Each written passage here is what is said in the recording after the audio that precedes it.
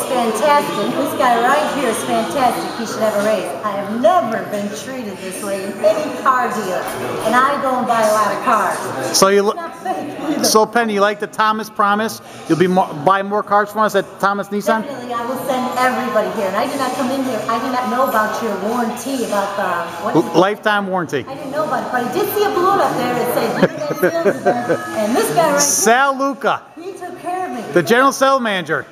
He's not pushy. He's very nice. You understand everything he says, and this place is great. You know? I'm in Joliet. I was in Naperville. You would think I'd be treated like this in Naperville, not Joliet, but here, I love this. Here at Thomas Nissan, we take all care of all the customers. Yes, you do. All right. And he still needs a raise.